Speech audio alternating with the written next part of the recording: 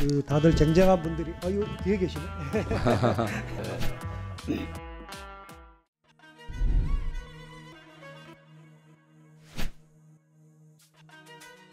뭐 잘 아시는 대로 지금 인류사가 크게 이제 세 가지 키워드를 고민하고 있습니다. 하나가 기후 위기이고 또 하나가 여전한 불평등 그리고 AI 이 세 가지 키워드를 가지고 어, 여러 가지 전쟁을 치르고 있습니다. 기후 위기 뭐 잘 아시는 대로 우리 고동진 의원님 계십니다만 삼성전자가 반도체를 잘 생산하긴 해야 되는데 이제는 그게 석탄 에너지나 원자력 에너지가 아니고 재생 에너지로 삼성전자의 반도체를 생산하지 않으면 애플이 안 사준다는 거 아닙니까? 그런 면에서 2030년까지 삼성전자가 LNG 발전소나 석탄 발전소의 에너지가 아니고 재생 에너지로 평택에서 반도체를 만들어야 수출할 수 있다는 시대가 오고 있는 와중인데 여전히 대한민국은 석탄 발전소와 LNG 발전소가 돌아가고 있고 재생에너지를 더 많이 빨리 만들어야 될 판에 그 공간에 원자력을 채우겠다고 하고 있는 상황입니다. 원자력이 화석연료를 발생하진 않지만 매우 위험한 에너지여서 잘 아시는 대로 아리백 재생에너지에 포함되지 않습니다. 그런 까닭에 대한민국에서 재생에너지로 아리백을 하지를 못하니까 해외로 기업을 옮기겠다고 하는 기업들이 늘어납니다. 이게 현실입니다. 아까 말씀하신 대로 민생 경제가 여전히 어려워서 저희가 중소기업 부도 담당하고 있습니다만 민생 경제를 살리는 일 역시 매우 중요한 일인데 여전히 무슨 부자 감세한다고 하면서 민생 경제를 어떻게 살립니까? 바꿔야 하지요. 여전히 이 AI하고의 공존의 문제도 매우 심각한데 22대 국회에서만큼은 여야가 힘을 합쳐서 특히 우리 여당 의원님들 용산에 할 얘기는 좀 해주시고 국회의원답게 원자력이 아니라 재생에너지 하자는 얘기도 좀 해주시고 그 그럴 수 있는 상임위가 되기를 진심으로 바랍니다. 지금 대통령님이 우리 정말 우리 국민들 민생을 걱정해야 되는데 그 여사님 걱정만 하고 있는 거 아닙니까? 이 문제도 저희가 어떻게든 바로 잡아서 이, 이 대한민국의 산업과 일자리가 이 사라지지 않도록 저희 상임위가 잘했으면 좋겠다 생각하고요. 저도 열심히 하겠습니다. 경북 영, 아, 영주 아니지. 경북 의성 청송 영덕 울진의 박형수 의원입니다. 제가 지역구가 선거하기 전에 갑자기 바뀌어가지고 네. 아, 아시다시피 제가 이제 마지막에 이제 울진이 제 고향이기도 하고 지역구이기도 합니다. 울진은 어, 원전 지금 3, 4호기까지 지난 3, 4호기까지 합하면은 10기가 돌아갈 가장 원전이 많은 지역입니다. 어, 제가 조금 전에 어, 말씀들 들어보니까 야 이게 상임위를 제가 잘못 찾아왔나 싶습니다.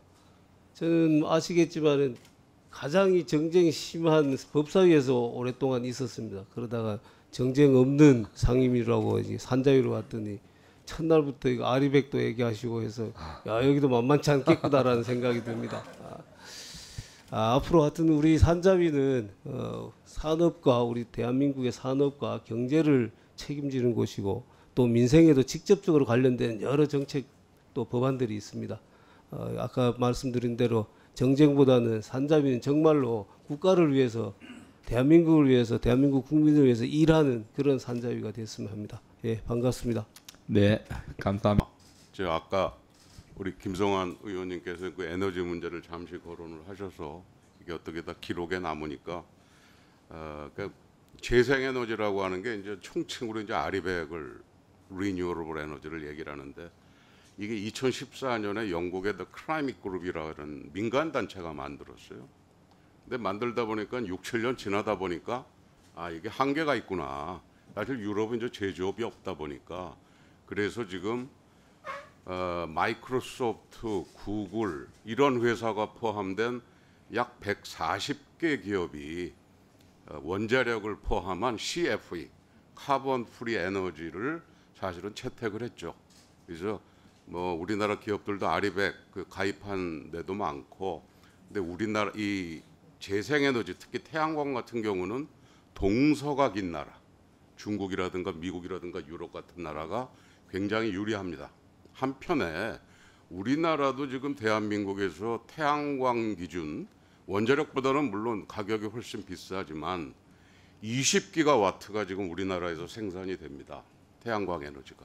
근데 문제는 제가 지난 월요일 새만금회를 갔다 왔어요.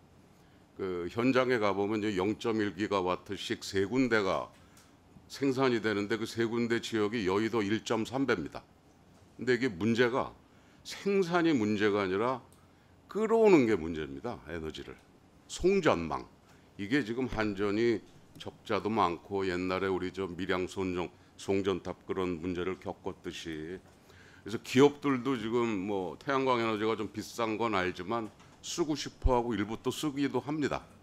그런데 우리 현재 그 송전망 문제가 지금 가장 큰 걸림돌로 지금 나와 있어요. 그래서 요거 관련된 자료를 아, 제가 그렇지 않아도 굉장히 디테일하게 분석을 하고 있는데 우리 저 네. 저- 말씀하셨는데 우리 또 김성환 의원님께서 말씀하신다니까 말씀드릴 수 있는 기회를 드리겠습니다. 네. 네, 우리 존경하는 고동진 의원님 말씀 뭐 전적으로 동의하고요. 그런데 이제 한 가지 저 바로 잡아야 될 팩트가 있습니다. 예컨대 구글이 어 이제 소위 CF100이라고 표현하는 정확하게 보면 24/7입니다. 그러니까 24시간 석탄과 석유를 쓰지 않는 화석 연료를 쓰지 않는 에너지로 구글의 기업을 돌린다, 공장을 돌린다 이런 취지인데 구글은 이미 아리백을 달성을 했습니다.